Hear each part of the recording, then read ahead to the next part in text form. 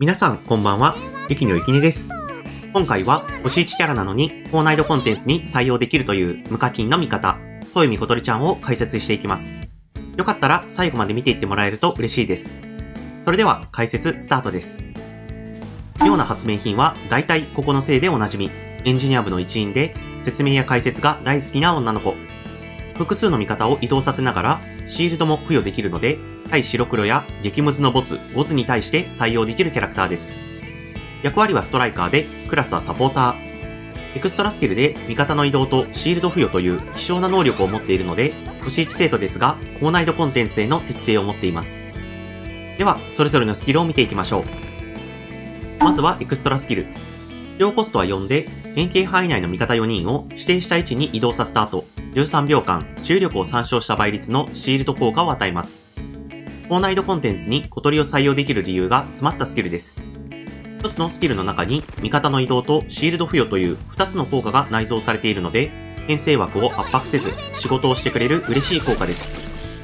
前半の移動効果は敵の危険な攻撃から味方を避難させることができますし、後半のシールド効果も味方の HP を守ってくれます。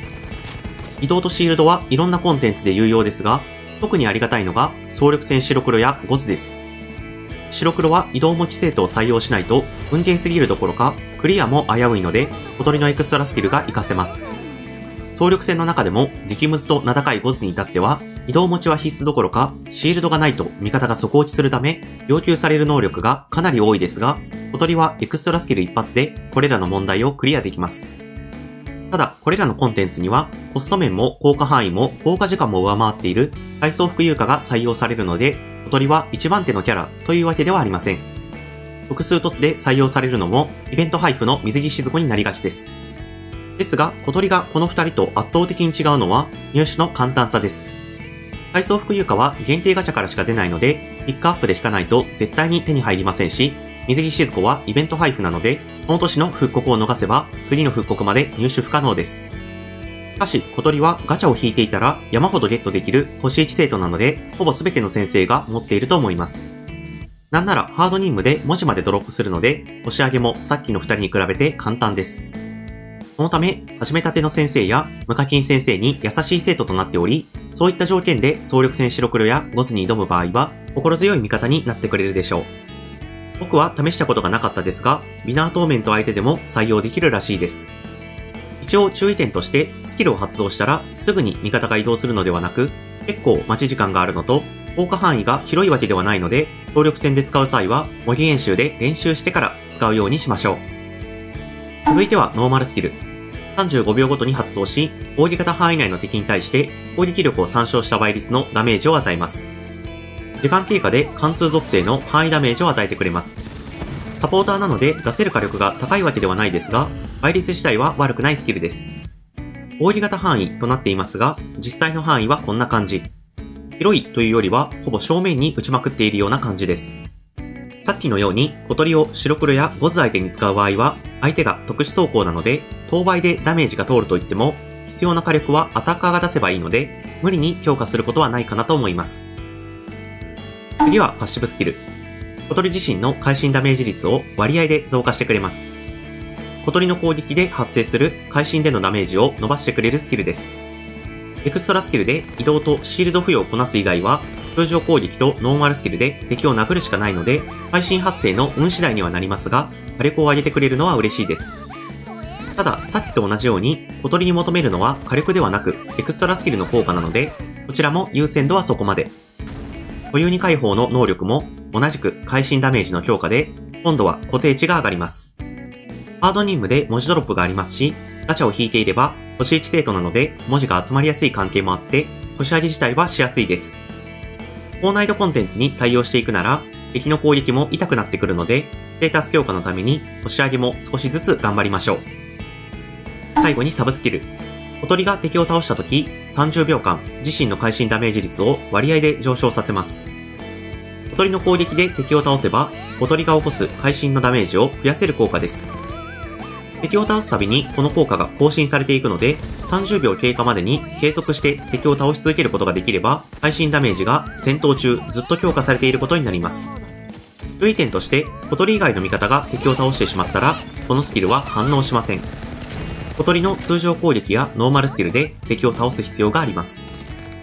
パッシブスキルと同様に、配信ダメージが強化でき、かつ倍率も高いので、サポーターである小鳥も地道にダメージを稼げるようになります。ただ、敵を倒さないと発動しない関係から、ボス戦とは相性が悪く、高難易度で小鳥を移動とシールド要員で採用する際には、あまりうまく機能しない印象です。貴重な能力を持った貫通サポーターです。現状数が多くない味方の移動とシールド付与を同時に行えるエクストラスキルを持っているので、小鳥は厄介なリミック対策ができる高難易度適性があるサポーターです。メインとなるのは味方の補助ですが、各種スキルのおかげで、会心次第とはいえ、小鳥自身もある程度火力は出せるようになっているのも嬉しいです。スキル上げの優先度は人によると思いますが、個人的には総力戦白黒やゴズに採用するためなのであれば、エクストラスキルだけ強化して、あとはレベル1でも問題ないと思います。僕もゴズインセインで小鳥を使用しましたが、この時はエクストラスキルだけレベルマックスで前半戦は突破できました。一応全体の優先度をつけると、最優先はエクストラスキル。次に開始に関わらずダメージは出せるノーマルスキル。次に常時発動のパッシブスキル。